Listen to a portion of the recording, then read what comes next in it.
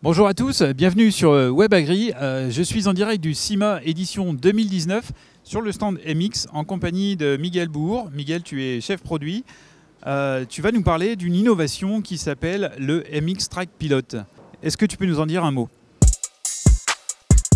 Alors le, MX Track Pilot, tout simplement, c'est issu d'un travail avec les agriculteurs et notre cellule d'innovation. on est parti d'un constat avec nos agriculteurs au niveau du pilotage, ils pilotent le chargeur, mais ils pilotent à la fois le chargeur et le tracteur.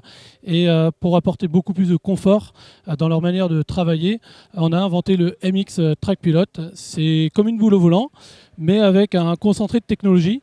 Euh, vous avez sur cette boule un micro joystick qui permet à la fois de faire les inverseurs de marche, marche avant, marche arrière, mais également le passage à vitesse ou encore la coupure d'embrayage du coup d'appuyer sur la pédale d'embrayage tout simplement.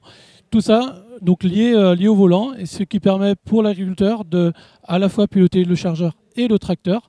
Main, droite, on pilote le chargeur, main gauche, on pilote le tracteur, et avec un grand confort, beaucoup plus de performance et d'efficacité. Et avec beaucoup de sécurité, puisque on garde la main sur le volant. C'était l'intérêt euh, premier de ce MX Track Pilot.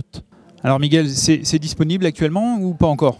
Non, aujourd'hui on, profite du CIMA pour euh, présenter en avant-première, en innovation, euh, comme un concept si vous voulez, euh, pour recueillir un peu les avis de nos utilisateurs.